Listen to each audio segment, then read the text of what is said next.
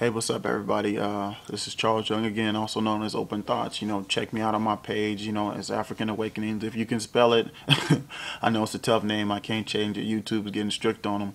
So, um, but I wanted to talk about something that uh, is kind of, you know, personal. It, you know, kind of is personal to me and maybe personal to you. Um, I want to talk about family. Now, my dynamic of family is a lot of people feel that. Um, like for instance, I'm a very family person. And I really, you know, care about my family. I care about the individual around me. But a lot of times you got to understand that family is not always going to be there for you, and family is your worst critic. Um, I have an issue with not not my family, but uh, you know, just issues about family. Is that why is it that your family is such your harsh critics? They why are they not the ones that supportive?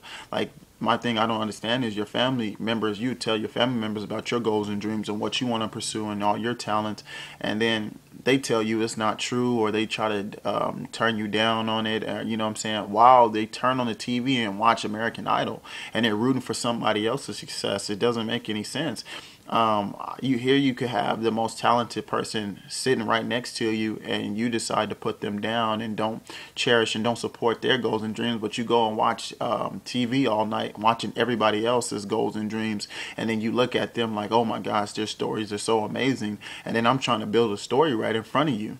It doesn't make any sense you know, family, you got to really understand is that, you know, you have these talented people. If somebody comes to you with your goals and dreams of what they want to be, help them, man. Support them. Support them like crazy. Stop waiting. Stop waiting. You keep waiting on on stuff and it's you know, for an individual, and you could be killing their dreams. A child wants to be a, a Teenage Mutant Ninja Turtle. Let him believe he can be a Teenage Mutant Ninja Turtle. You never know. He might become that and be making $5 million every day just being on the shoe. You never know.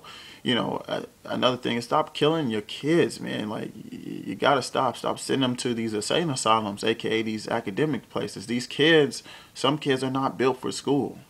Some kids are not built for school. You be sending your sending your kid there, and the parent and the teacher sending reports back and forth telling about your child is doing this and that, and you get mad at the child. Well, sometimes you don't understand what's going on. you know what I'm saying? And he he knows if your child is so um, I believe if your child is so expressive in class, um, I wouldn't say bad, but so expressive in class and you know so eccentric or you know so wild as they might say, know that your child probably has more potential than what you what you, what the classroom is going to give them. You know what I'm saying? A lot of times, your kid can be very intelligent and be dumbed down by the schooling system. You know, I believe that should there be a, a academic uh, education system um, to everybody? Yeah, but do I believe everybody's going to be successful there? That's like I said before. I don't know. Who knows? You know.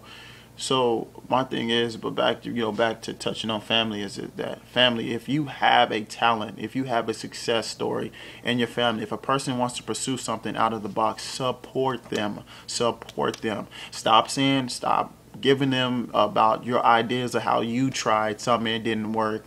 Stop giving them all the stuff that they don't need. They have their own goals. You may not have been successful but that individual may have may be. Don't kill his dreams because you didn't make it. Understand what you're telling to your family members. Stop killing it. What are they 14 or 40 stop killing their dreams. Stop being a dream killer every time they come up to you with an idea oh, i don't like it. I don't like it. Hey let them perfect their craft and stop killing them and support them. That's how you. That's how we build, and that's just how we grow as a family. Because a lot of family members get mad about the fact that you don't spend time with them or you don't want to show them once you get big. Well, think about it. When I brought this idea to you, you thought it was a bunch of crap. And now look at me. And now I don't want to have anything to deal with you. So family, uh, this is just uh, um, this is a public service announcement. You know, if you have a success story in your family, if you have it, if you hear somebody saying something, they're going to do something creative. Don't turn them down because you're going to sit there, turn their idea down. Now they're 40, and then you bring it back up to them. They're going to want to kill you. Let's just be honest. They're going to want to kill you. So if you know somebody's doing something in your family, you know they're passionate about it, support them. Support them and stop with this other stuff. Stop putting them down. Stop this family warring and beefing because you don't like them. Support your family because that individual will come back to you and help you and, and show you, hey, I love, I'm thankful for your support. Why do you think these rappers move their mothers in? Because their mother supported them. But don't don't bring anybody else in. They cousins that they've been around, they've always been talking trash about them. So, you know, look at it this way. If somebody comes up to you with a story, don't turn them away. Say your story is great because this individual on TV is doing it. Instead of saying, I don't believe that's going to work. And while you watching American Idol and rooting for somebody else. So, you know, here I go. I had to drop that on you. You know, a lot of people need to know this. And I'm, I'm be the tough one to say it. So thank you. You know, you stay funny, stay on my page.